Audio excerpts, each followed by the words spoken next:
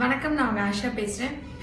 இன்னைக்கு வீடியோ நான் வந்து ஹேபிட்ஸ் டு பி சேஞ்ச் அதாவது நம்ம ரெகுலரா பண்ணிட்டு இருக்கிற பழக்க வழக்கங்கள் மாத்த வேண்டிய விஷயம் என்ன அப்படின்றத பத்தி பேச நினைக்கிறேன். நான் நிறைய டிசீசஸ்க்குள்ள போறதுக்குள்ள சில விஷயங்கள் என்னால் இது சொல்லாம இந்த சமூகத்துல பதிவு பண்ணாம ஐ கான் மூவ் ஆன் அப்படின்ற சுச்சுவேஷன்ஸ் இருக்கிறதுனால இது ரொம்ப இதுவாக எடுத்துக்கிட்டேன்.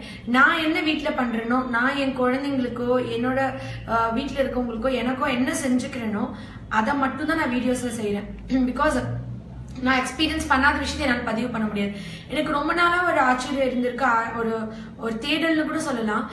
இப்போ என்னோட தாத்தா பாட்டிலாம் எங்க பாட்டியோட ஸ்கின்லாம் அவ்வளோ ஒரு ஸ்ட்ராங்கா இருக்கும். மசில்ஸ்லாம் லூஸா இருக்காது. இப்போ என் மதர் இல்லாக்கெல்லாம் எழுபது வயசு ஆகுது ஆனால் அவங்களுக்கு இன்னும் கூட ஒரு சுருக்கம் இருக்காது ஃபேஸ்ல அவங்க ஸ்கின் வந்து நான் வேணா ஒரு ஃபோட்டோ கூட போடுறேன். அவங்க ஸ்கின் ஹேங் ஆயிருக்கவே ஹேங் ஆயிருக்காது. அப்படியே ஒரு டைட் இருக்கும். அவங்களோட ஸ்கின் வந்து அந்த க்ளோ எப்படி அவங்க சொல்லியிருக்காங்க சின்ன வயசுல குல்கன் சாப்பிட்ருக்கேன் இந்த ரோஜா பூ இதழ் இருக்குல்ல அதை வந்துட்டு ஏதோ பண்ணி ரொம்ப நேரம் போட்டு காய்ச்சி குல்கந்துன்னு சொல்லுவாங்க. பட்டு ரோஜா பூ இதழ் வச்சு செய்வாங்களாம்.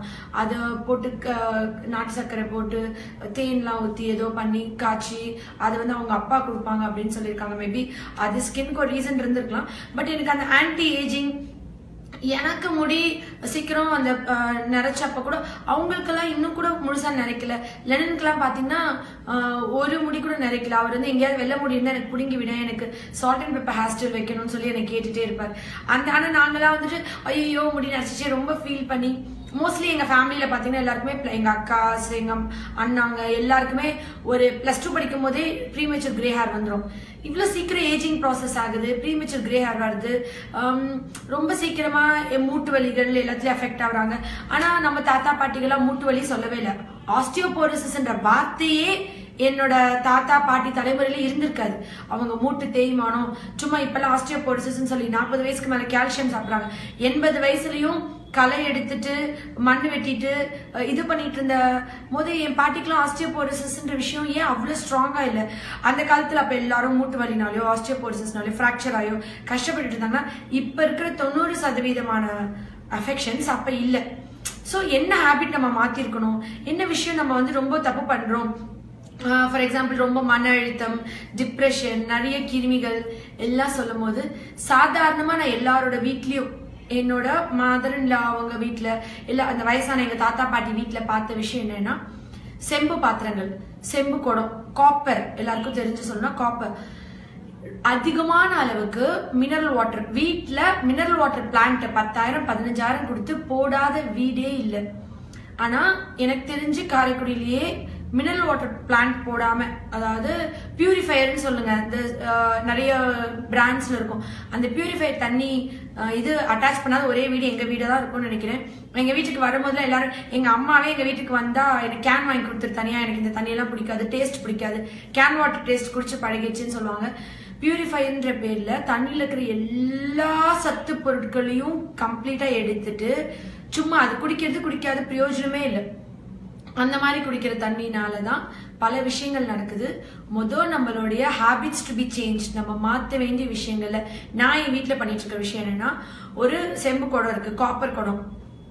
நாங்கள் என்ன பண்ணுவோம்னா நைட்டே வந்து அந்த காப்பர் குடத்துல ஃபுல்லாக தண்ணி ஊற்றி நிரப்பி வச்சிருவோம். பன்னெண்டு மணி நேரத்தில் ஒரு காப்பர் குடத்துல தண்ணி ஊற்றி வச்சிட்டீங்கன்னா பன்னெண்டு மணி நேரம் கழித்து அதில் எந்த கிருமி பாக்டீரியா வைரஸஸ் ஈகோலைன்னு சொல்லக்கூடிய எந்த கிருமிகளும் வளராது. எல்லாமே செத்து போயிருக்கும்.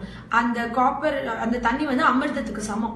அந்த தண்ணியை அடுத்த நாள் ஃபுல்லா நம்ம குடிக்கணும். டுவெல் ஹார்ஸ்க்குள்ள காலி பண்ணிடணும். சப்போஸ் டுவெல் ஹார்ஸ்க்கு மேல வருதுன்னா அந்த தண்ணியை வந்துட்டு அதாவது நைட் டுவெல் ஹார்ஸ் இருந்து அடுத்த நாள் டுவெல் ஹார்ஸ் டுவெண்ட்டி ஃபோர் ஹார்ஸ்க்கு மேல காப்பர் கொடுத்து தண்ணி வைக்க தேவையில்ல. தண்ணி வேற பாத்திரத்துல மாத்திட்டு திருப்பி அதில் ரீஃபில் பண்ணிக்கணும்.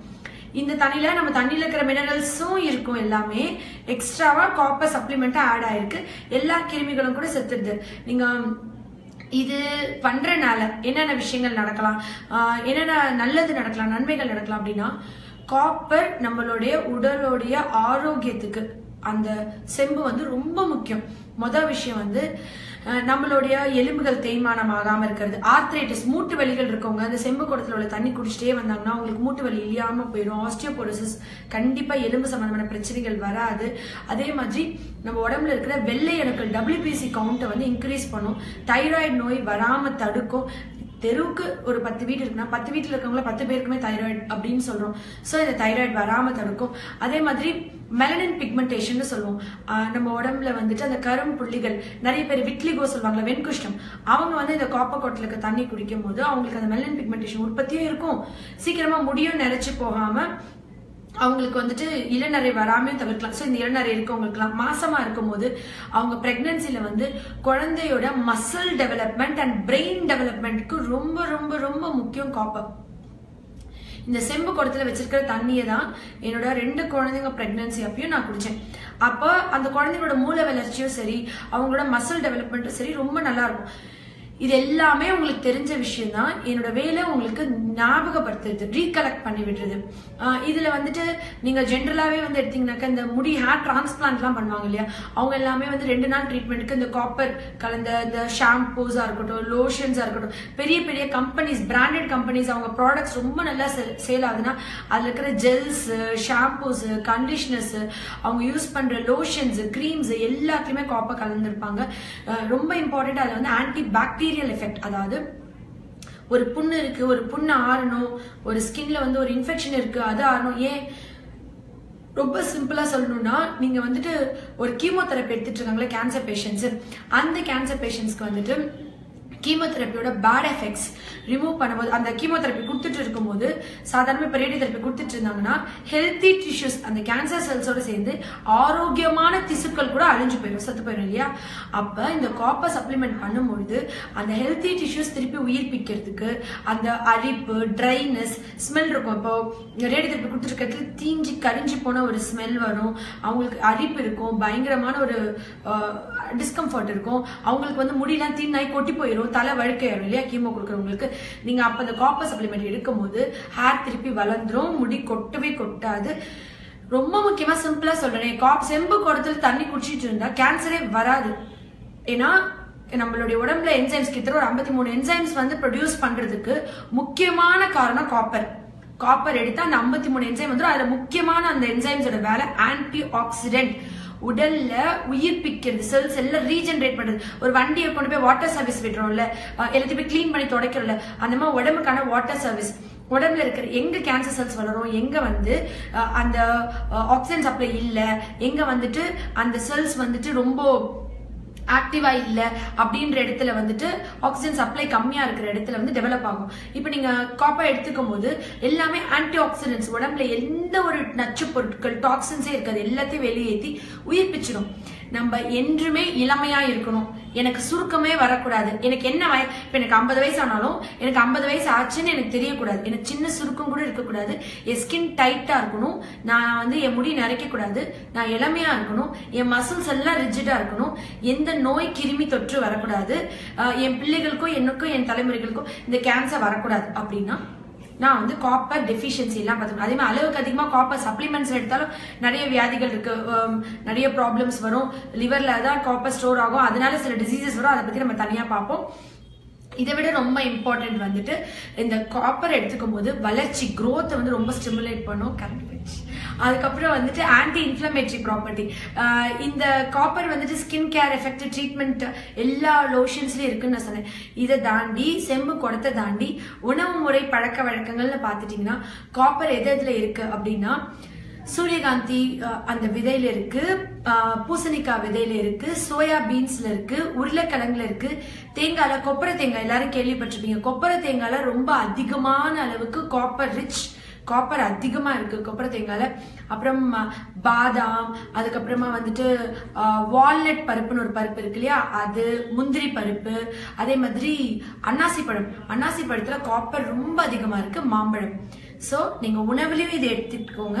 உணவு இப்போ மாம்பழம் சீசன் இல்லை அன்னாசி சீசன் இல்லாதப்ப நீங்க வந்துட்டு ட்ரை ஃப்ரூட்ஸ் எடுத்துக்கலாம்.